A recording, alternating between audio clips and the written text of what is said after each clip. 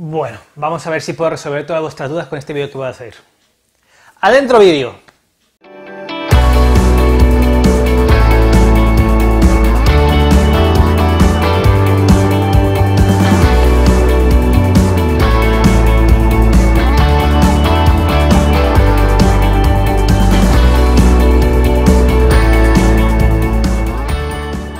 Muy buenos días amigos y amigas, estamos otro día más en Enfoca Dispara. Mi nombre es Luis para los que no me conocéis y aquí estamos todos para aprender un poco de fotografía y de vídeo. El tutorial de hoy se basa en responder a las preguntas que me hacéis continuamente en el canal que son un poco similares entre sí. ¿Por qué? Porque todos tenemos siempre las mismas dudas y para eso estoy yo, para ayudaros a progresar en este mundillo. Así que se me ha ocurrido la idea de crear un, un pequeño tutorial de unos 10 minutos en el cual resumo las preguntas más repetitivas que hay en los comentarios para que los próximos que entren en este canal y tengan las mismas dudas que vosotros ya tengan que ver el vídeo y no tengan que responderle las preguntas individualmente. Una de las preguntas que más me hacéis en los comentarios es esta. ¿Puedo vender mis fotografías en varias agencias microstock o solamente puedo subirlas en una en plan exclusivo? La respuesta es sí.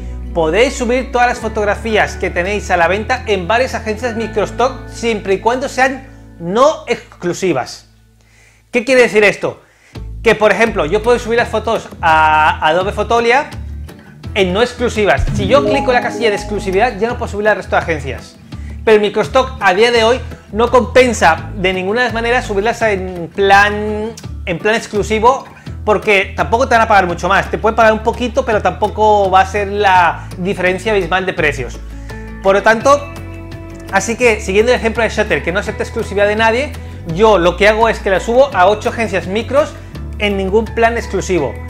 Ya otra cosa es agencias macro, ¿vale? Pero en microstock, mi recomendación es subirlas al mayor número de agencias que podáis, el mayor número de tiempo que, que podáis subir al resto de agencias en plan no exclusivo. Otra pregunta muy similar a la anterior es, ¿puedo vender mis fotografías en varias agencias macro o premium? Y aquí la respuesta es un poco más ambigua. Si subes tus fotografías de manera exclusiva, como a Offset, a Stocksy, a Getty, no puedes subir a otras agencias macro. Por ejemplo, si yo subo fotos a Getty Image, las tengo que subir solamente a Getty y ya está. Si las subo solamente a Offset de manera exclusiva, solamente puedo subir a Offset y se acabó. Pero aquí están las agencias premium como Western 61, Additive Stock, que lo que hacen es distribuir tus fotografías en varias agencias premium de manera no exclusiva, en el cual te permite aumentar las posibilidades de vender más fotos a mejores precios.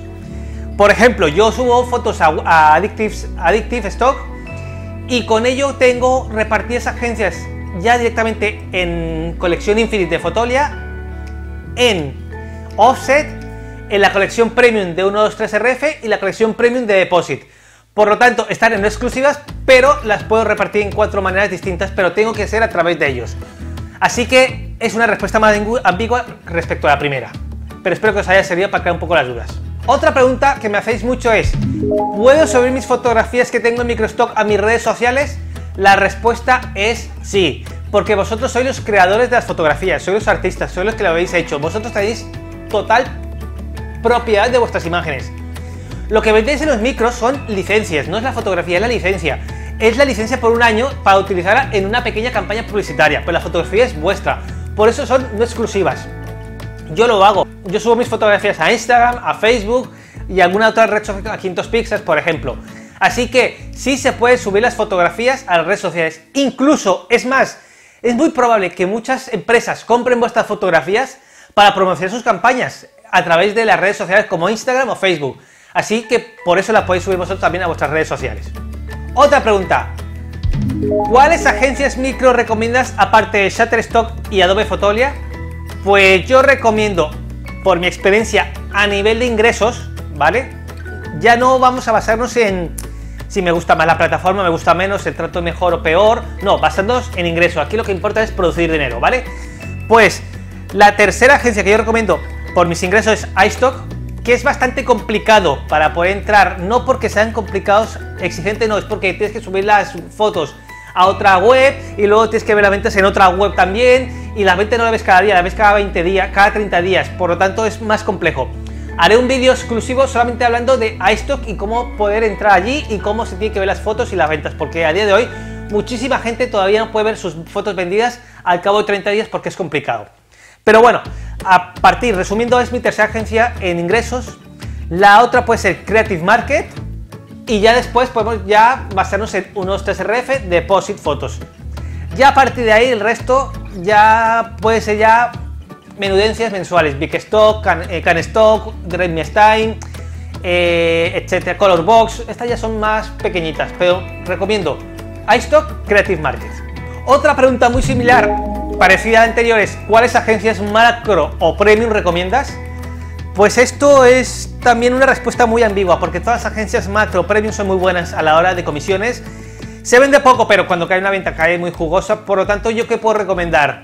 Puedo recomendar Offset, Stocksy. Stocksy que no es macro, podemos llamarle premium, pero es una mix stock porque vende los precios a mitad de lo que puede valer en Getty o en Offset. El que entre en Stocksy puede ganar muy bien la vida allí pero es difícil entrar, ¿de acuerdo? Offset está muy bien, yo tengo ya lo que he comentado antes, unas cuantas fotos en Offset y me han caído unas tres ventas y la media de ventas son 100 dólares por foto vendida, está muy bien para mí.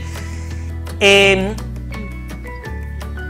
¿Cuál más? Getty Image también, eh, hay gente que... Yo tengo fotos en Getty Image y la verdad es que la media está en 25 dólares por foto vendida.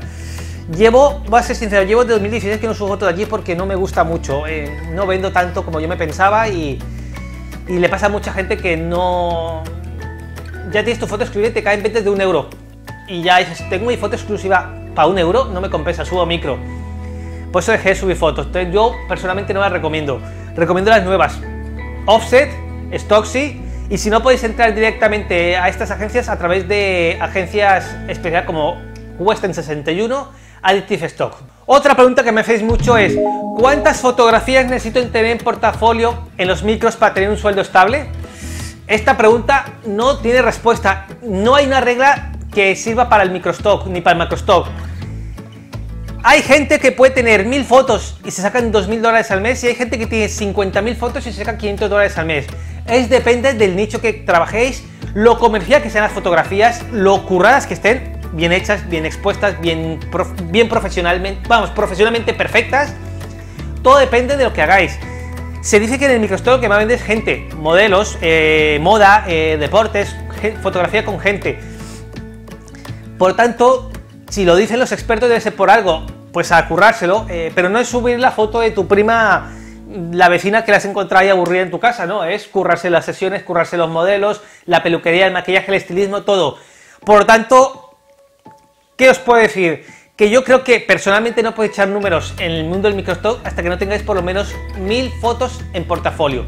Cuando tengáis mil fotos ya podéis ver cuántos ingresos mensuales tenéis. Puede ser que deis en el cloud y tengáis 1500 dólares al mes, como puede que tengáis 50 dólares al mes.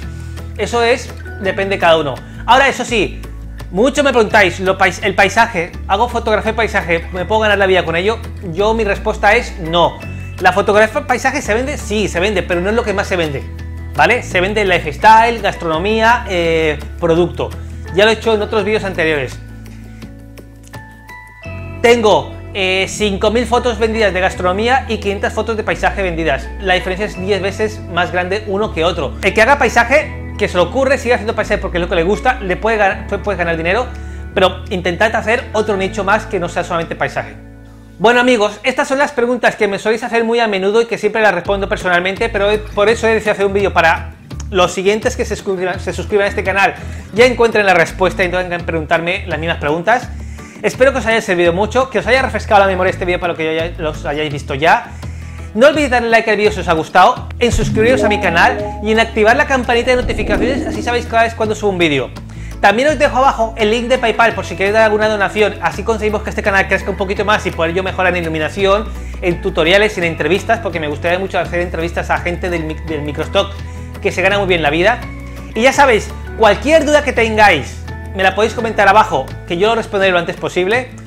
Y me podéis seguir en Instagram, en Facebook, en mi página web www.enfocadispara.com y nos vemos la próxima semana amigos. Venga, un abrazo, hasta luego.